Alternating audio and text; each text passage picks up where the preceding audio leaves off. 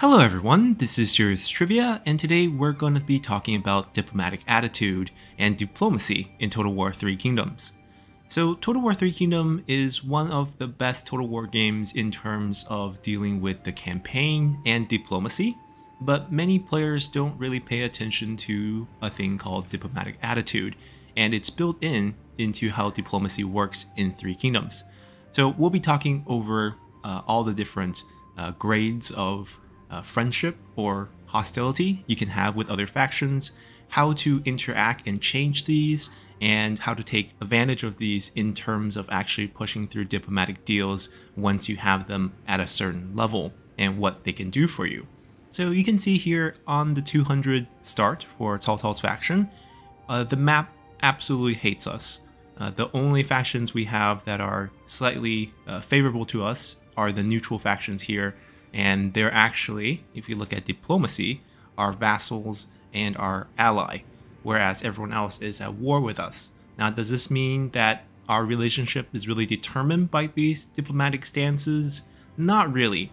Uh, you're going to be able to see that you could actually go to war with someone to turn them into your best friend. Uh, it's very possible uh, once you get a hang of what really matters in terms of diplomatic attitude and how can that really help you uh, when you do make diplomatic deals. So if we open up the diplomacy screen and take a look at these faces on the right, they are your diplomatic attitude. And right now, we're struggling with this on turn 1 for Cao Cao, mainly because we have something called minus 20 faction influence, or minus 18 for certain factions, uh, due to some very strange math, but it's really minus 20.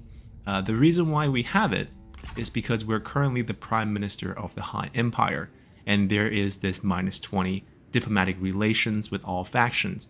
Anytime you see a tagline such as diplomatic relations with certain factions, subgroups like the Han factions, uh, the Yellow Turbans, uh, the Bandits, this type of relationship will be uh, impacted on your attitude in something called faction influence. Another thing that could happen with faction influence is if you vassalize someone and promise them uh, autonomy or you liberate them, you get a nice burst of that as well. So that's a very uh, mysterious line that many people don't understand, and we can kind of tweak that if we want. We do have uh, schemes for one of the few factions that can really uh, mess with diplomacy. We can use something called the rival tiger and one prey, and once we use this for plus 20 relationship with all factions, and we pop back into diplomacy to look at these values, uh, the current value will not change, but you can see the faction influence is now plus 2 from negative 18. Same thing there. So either they will go to 0 if it was negative 20 before, or they will go to 2 if they were negative 18. So in the case of Sun Ce, we erased it. But you can see that his current value, or the value that he had at the start of turn, is still minus 20 it's trending towards zero. You're getting a growth where he's going to go towards neutral. But until the current value changes to zero, any sort of diplomatic dealings you deal with him will be same as before, even though you increase that relationship. Now, how does these attitudes impact your deal making? Well, if we pull up a deal with Sun Ce, and any type of deal, whether that's you know non-aggression pact, and you hover over there is this opinion on this idea. I think for any players of Total War 3 Kingdom, you definitely have seen this when you try to make peace, when you try to annex, when you try to uh, confederate. Sometimes you see a minus 100 on the opinion. And sometimes that's because they don't like the deal. But often it's linked directly to their attitude towards you. If they are in the unfriendly range, you'll most often see minus 10. Now, sometimes these opinions will shift based on their personality. This is something that's very hard to kind of cover, as there are many, many personalities in the game uh, for both uh, the factions that are playable and the non playable factions with generic characters, because oftentimes the generic characters will spawn slightly different personalities from game to game. Even if you're granting independence to them, in the same game, they could end up with different personalities. So it's not locked. And that's mainly because traits can be gained uh, in games uh, randomly and it's going to have an impact on their personality. So personality definitely has a huge uh, determinations into how deals are made. And you can see things like cunning, where on the last one says diplomatic attitude only has a limited influence on diplomatic decisions. So these things will add a wrinkle into what you can expect from diplomatic attitude. But in essence, if you are uh, using this, so right now we can see this is plus 3.9, mainly due to our strong military uh, strength and strategic influence. That's going to be your main driving force in diplomacy. Whenever you're making a deal, having a stronger army on the field will play a big role in determining how strong you can push deals through because you can overpower things like opinion on this idea. But sometimes you might reach a max military strength. For example, in the late game, when you have a full army set of say 25 armies, sometimes you can't get more armies, and you have the best unit in those armies, you'll be close to somewhere around 50 points, and you can't really push it that much higher. The only trick that I have determined you can do is have dedicated uh, administrator generals that will be sitting inside the commandery, meaning they're on your bench, not on the field. And those units will also be considered part of your standing army. I assume that will also include a garrison that you gain from military infrastructure. And essentially, you can gain a small boost. We're talking about 0.1, 0.2 to your military strength. And that might help you out a little bit. But mainly, when you want to push deal through, you have to lower the opinion on this idea to zero. Uh, that way, they don't have a negative factor there. Sometimes you could see a positive one, but that really depends on the type of deal you're pushing and the personality that they have. So in this case, the negative 10 is reflection of his current negative 20 value. And if you want to push current attitude towards trending attitude, the best trick in the game is to offer a payment of one copper coin. And the reason why this works is that the game will check for the trend at the end of every deal you make with all the factions in the game. So when I make this one coin payment, it will refresh the value closer and closer towards trending for all your factions. And you can see Sun Ce here is now at negative 15. And depending on how far away, the amount you gain will be different. So if we're currently at negative 200, and we're trending towards zero, we're going to get 60, 70 points with one such refresh. Here from negative 20 to negative 15, or negative 20 to zero, we only get five points. And you can do this infinite number of times until you get it to zero. Now, uh, this is not going to do anything from negative 20 to negative 15. We're still in the same color block zone. And these color block zones going to determine uh, what the opinion are. So unless he moves out from unfriendly to neutral, the value that we see here is going to stay at negative 10. So let's first push him out just to get an example. And we're going to use military access as our anchor point. You can see this deal, much more important and much stronger than non-aggression, is opinionated at negative 13, even though he's in the exact same uh, attitude range as us. And he's giving us different military power depending on the type of deal as well. So there's a lot of intricate detail to diplomacy uh, in terms of the positive factor and negative factors, and you have to really um, kind of check things out to get used to them. We're not going to use any of the special ones, but let's just say we sign this deal. You can see his attitude trend will trend from 0 towards 25. Doesn't mean his current attitude will jump to 25, uh, it won't be a negative 15 anymore because what will happen when you make this deal is that he will calculate from his current negative 15 towards his trending 25 and you get a few points. And if we want to push for attitude through deal making, you can definitely do that because the attitude score comes in a couple folds. Right now, he has no factors influencing it, right? The blocks are empty, whereas you see with Yuan Shao, there's things like personal rivalry, war with us, war with our friend, treaties with our enemy. So those are things that's going to matter. Um, in this case, if we sign a non-aggression pact, that's a treaty with them. So we'll also gain some positive points there. That's really reflected in the 25. If we want to push it faster and higher, the values here that you have to uh, get used to are 5.0 and 15.0. So at those values, you get a jump in terms of how much attitude you're getting because it's a consider a favorable deal for them. So in this case, we're going to offer him one food for 10 turns, and that's going to add up to 5.0. If we hover over, it has jumped to 35 points. And if I somehow decide to give him 10 more point worth of items, maybe the red hair, that's worth only 4.5 because of course the AI discount all your gold items. Um, that's going to be 9 and that's going to be 10. So we're at 15 points exactly and that's going to be 70 points. So we went from 25 from just the fact that we're going to get a treaty together to 10 extra points for reaching 5.0 or a very favorable deal for him. Now to 15 points, which is giving us additional 45 points. And this is a good way to gain points. Now, of course, I'm not going to be giving him these gold items, but we'll use the 5.0 to demonstrate here. And as this deal is signed, if we check his value again, we're going towards from negative 15 to 35. It actually didn't refresh, which is interesting, but you can see where deals are giving us points. 20 points for having a treaty, 15 points for giving him a favorable deal. These things will decay over time.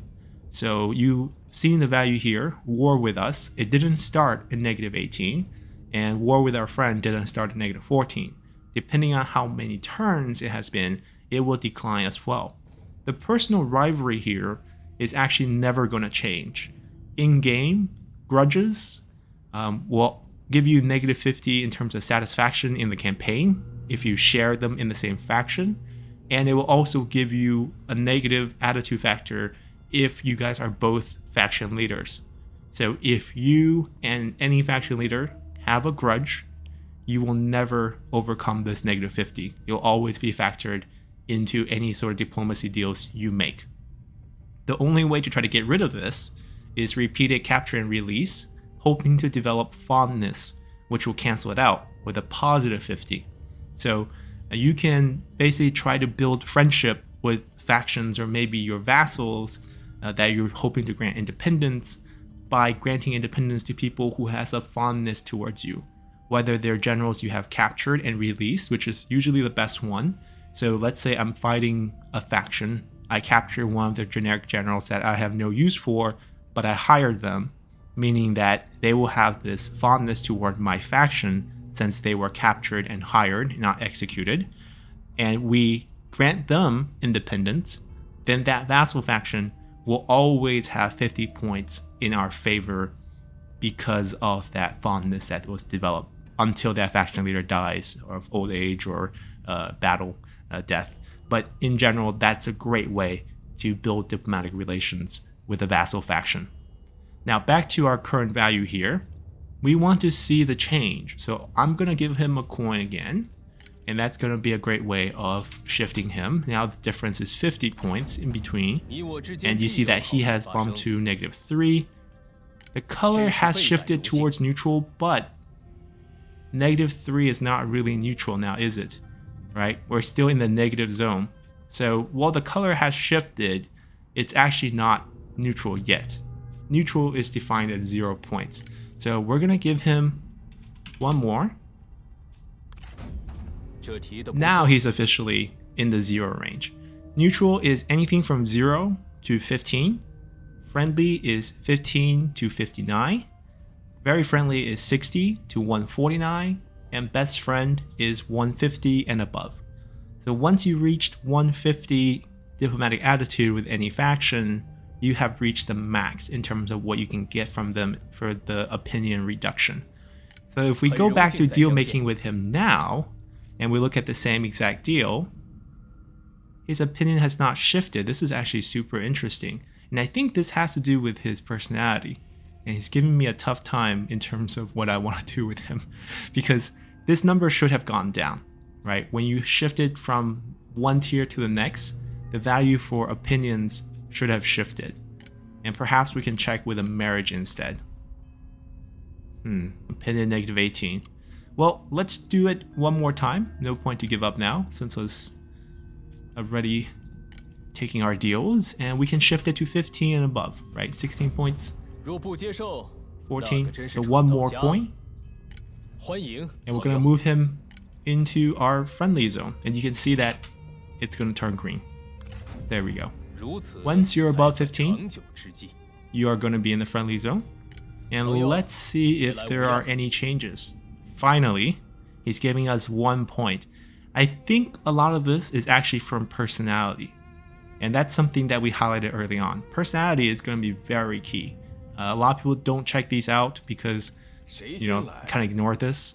But there's a lot of things that are very useful to know. So for example here, Gao Gan is honorable. He will not not honor treaties. He will always honor treaties. More willing to sign deals with respectful leaders, people with trustworthiness, and also harder to bribe in diplomacy. So any of those favorable deals are not going to happen. And they make diplomatic decisions based almost exclusively on diplomatic attitude. So you can depend on them to follow the rules of the attitude, values completely in terms of whether he will declare war on you. So oftentimes you freak out over AI faction declaring war on you even though you're best friends. Well, it could be that there are kind of a treacherous person, or in this case, cunning person, right? Diplomat attitude only has a limited influence. Some people have almost no influence, and then there's also good vassals with dependent, uh, with the underdog personality here that admires large factions, and some people absolutely hate large factions do they have things like defiant. And you can check out everyone's personality. This is actually very key. And then you have pacifists, someone who doesn't want to declare war, who's protective, doesn't want to lose land, uh, aim to have an empire of vassals and tributaries. So this basically dictates how AI factions will play. And this is actually pretty crucial for to know. Balance, Bandit Queen with different personalities. So this is just a title for a lot of the unique characters. You want to look at the traits, right? Destructive, commanding, strategic, uh, uh, belligerent, and you have opportunist raiders. That's why he's in raiding stance so much. Protective and cunning, balanced, defiant. This is someone who dislike large and aggressive factions, never stay a subordinate. If you get a vassal like this, he's going to definitely rebel against you. You might as well release him. Uh, that way he's not a vassal to you, but just a friendly faction. So he doesn't have to feel like he's a subordinate in that case.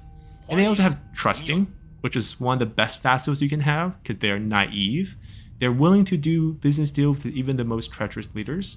When you have untrustworthiness, there's a penalty towards any deal you make unless they have trusting or they just don't care. And they also never see anyone as a strategic threat. So it doesn't matter how big they are, right? Proximity, distance is also a factor, how big the army are. And uh, they will always do deal with you without those factors being taken into consideration when you make a deal. So personality is very, very crucial, and we're already getting to see it with Sun Ce making the deal here. He's not giving us as much as we should get when we do dip below. So this was negative 18, now it's still negative 17. Uh, basically, he's not giving us too much credit here. Now, there's also things like character worth, distance between the two factions.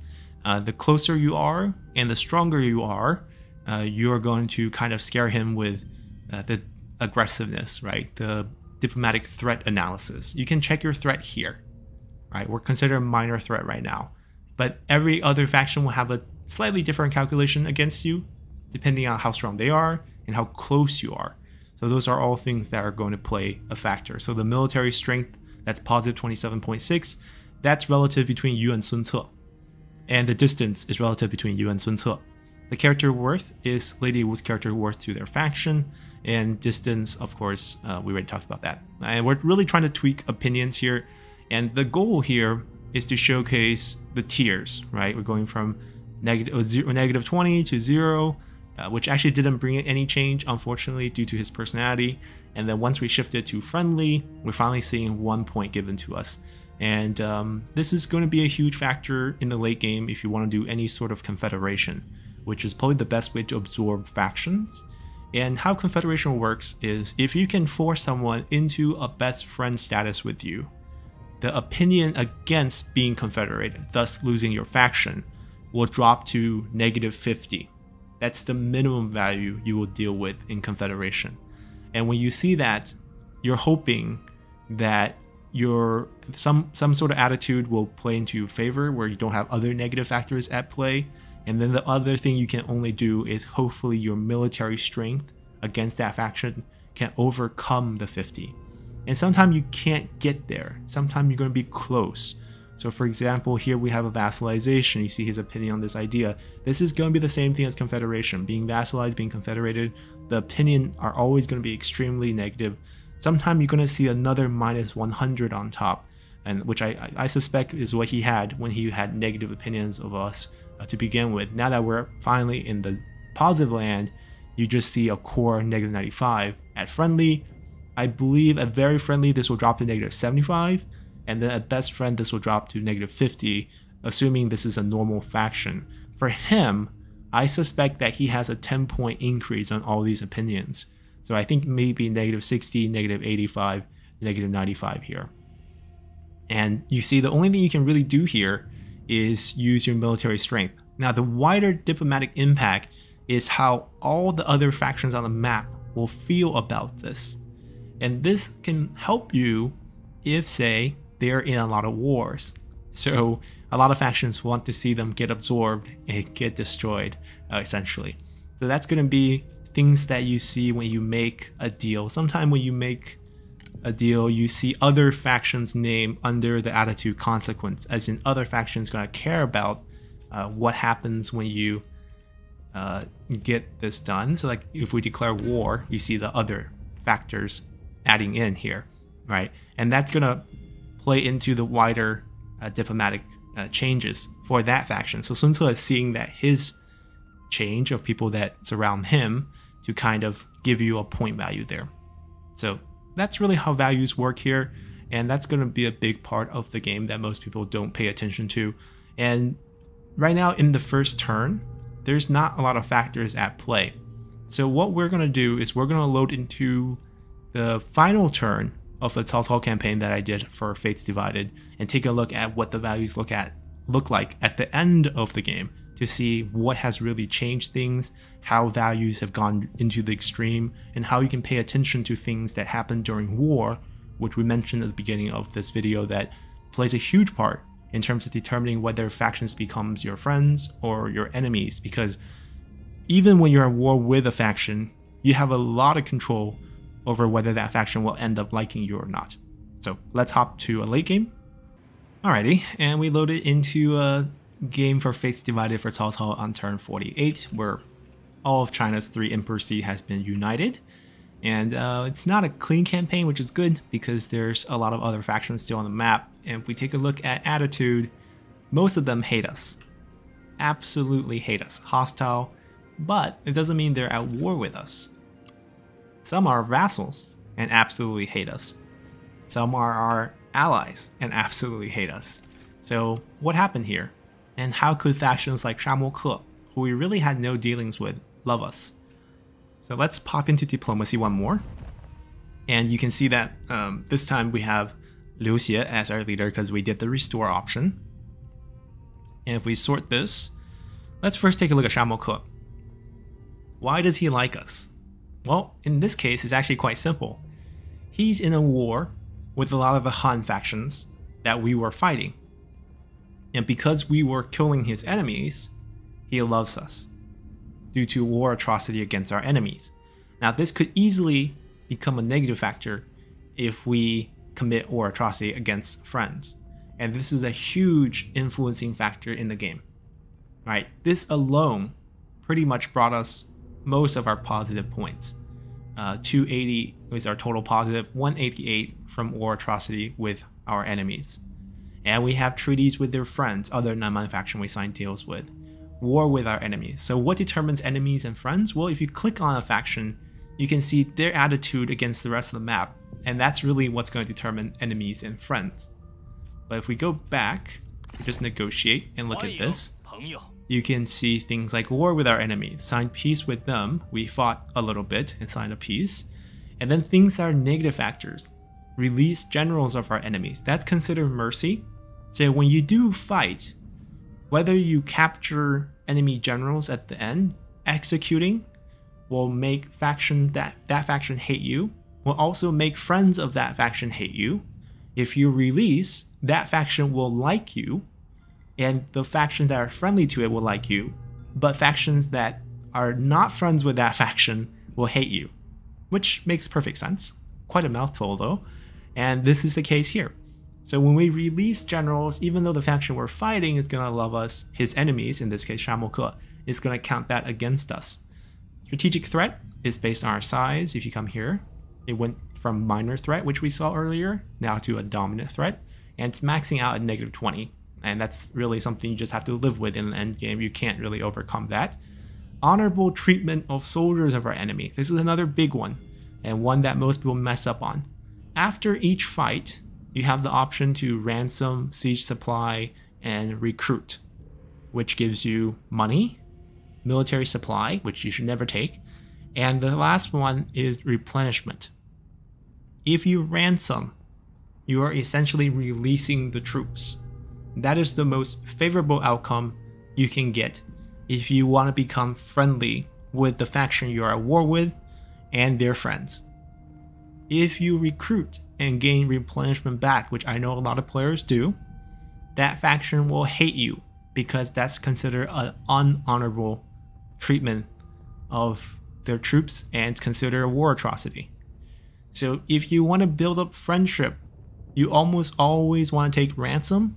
You almost always want to release or hire the generals that has been captured. If on the other hand, you want to use a war to become friends with factions that are against a faction. So a best example of this is you're playing as a Han faction and you want to be friendly with other Han factions so you can confederate them. Then go to war with bandits, Nanman factions, or uh, Yellow Turban factions and be absolutely merciless against them. Recruit after every battle, execute all their generals, and for all the remaining Han factions who hopefully are in wars with them, you will see the value skyrocket similar to this 188 that we see with war atrocity against our enemies. And that's a great way to build friendship. So war is an excellent tool in the game to really change the value going around. Of course, if you don't have this setup in the late game, money is also a great way because you could easily create 5.0 or 15.0 to kind of push for deals. Now this is crazy high, but you can see it maxes out at 15. So you can just lower it by a bunch and uh, bribe them basically to push the value up. It doesn't say anything here, but it's gonna make a change. So right now we're at trending 201. Push this deal through.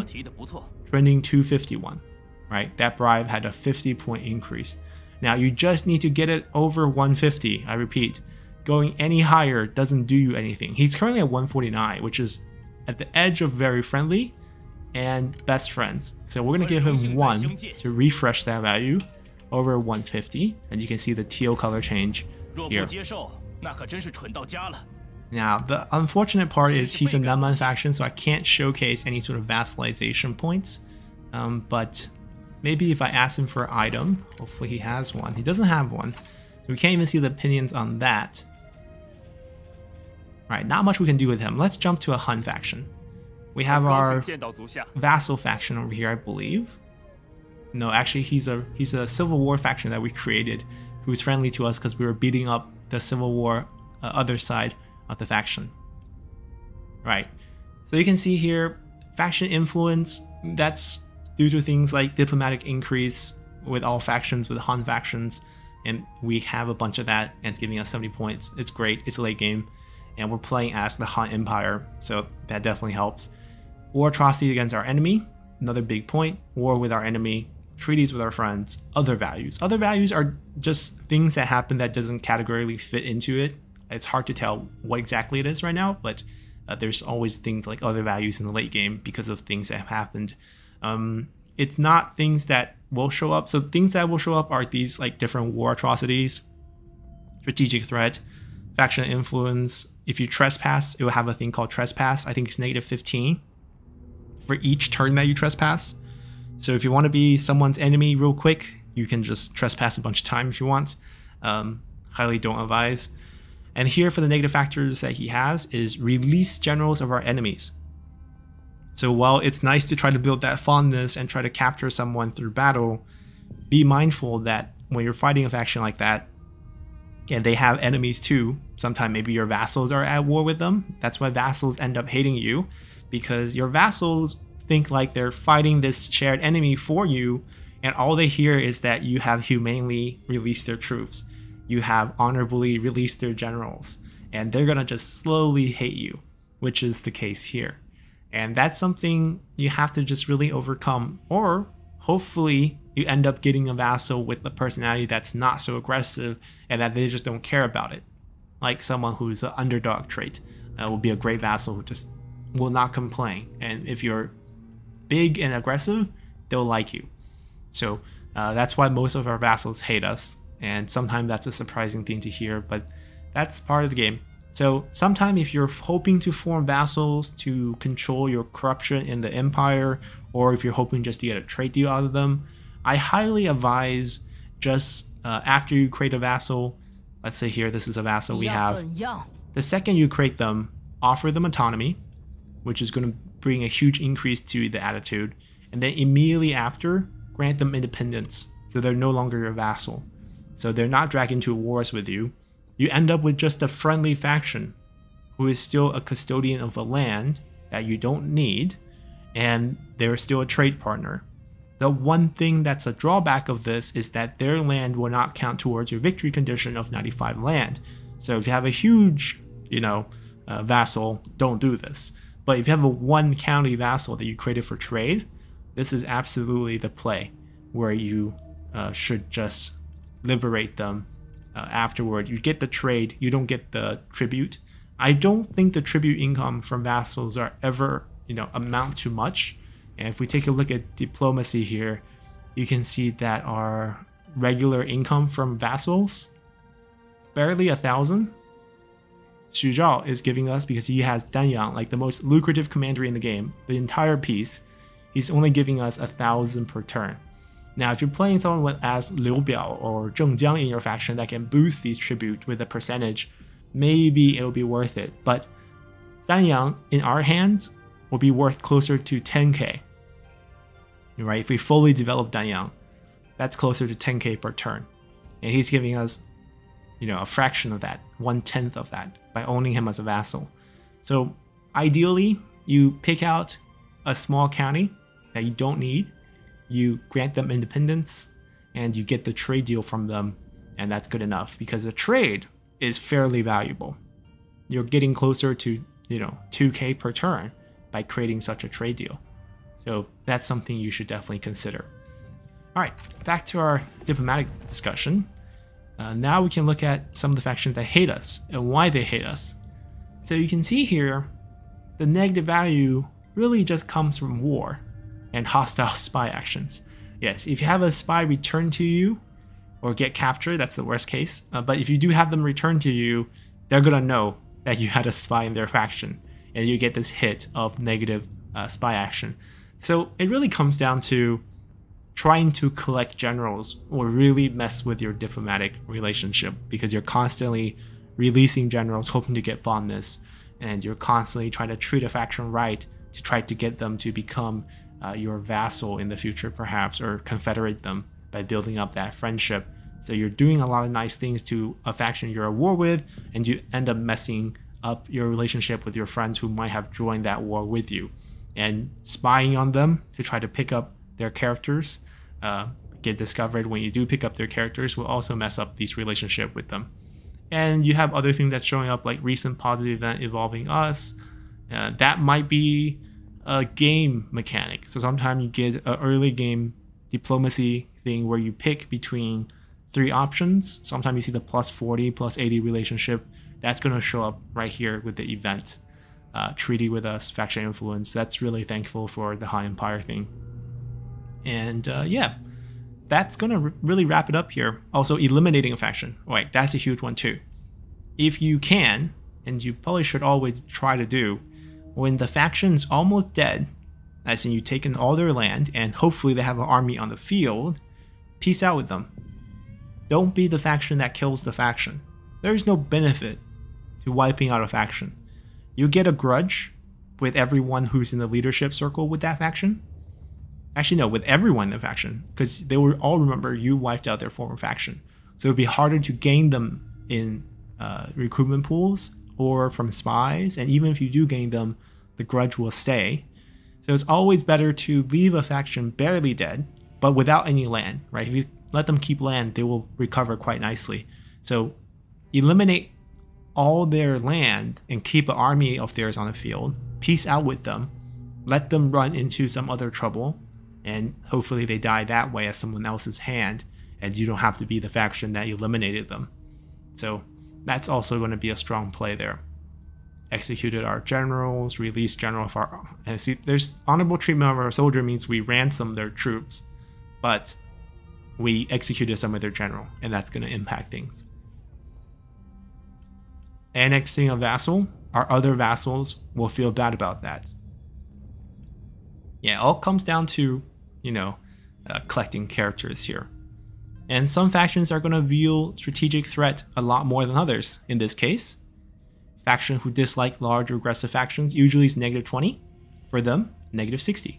So that really just comes back to the personality is going to play a huge role uh, in terms of how people perceive you, uh, depending on things like strategic threat or untrustworthiness and so forth. So hopefully this is a good summary for diplomatic attitudes and you have a better understanding of the game and what really makes diplomacy uh, tick and what you can expect uh, from different factions if you just pay a little bit of you know attention to their personalities before you get into any sort of deals with them. So here Koro for example has a diplomat personality and the friendly one and so he's going to be a pretty decent faction uh, to make deal with. And um, prefers peace and treaty over war, only declare war if otherwise the empire is secured. When conducting diplomacy, strongly considers the world reaction as in the wider diplomatic impact. So if you have a lot of friends that will be angry at him if he declares war on you, then he's not going to do it.